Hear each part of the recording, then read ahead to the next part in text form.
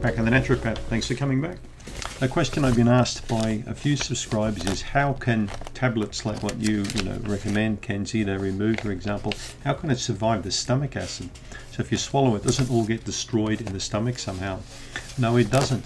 In fact, bitters enhance the stomach's digestive aspect and have been recommended by practitioners of medicine for thousands of years. All kinds of bitter herbs, and there are many different bitter herbs in CanXida Remove.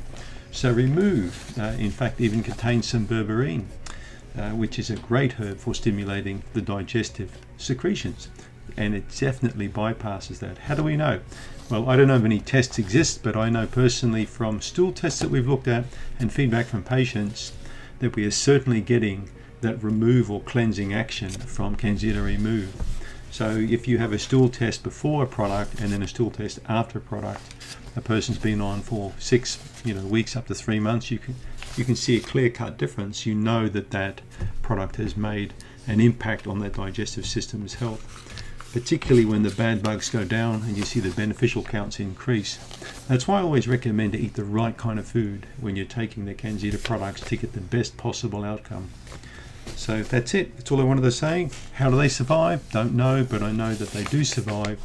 But we certainly know that through the benefit, benefits and the positive action that the products confer on people. That's what we see. Thanks for tuning in.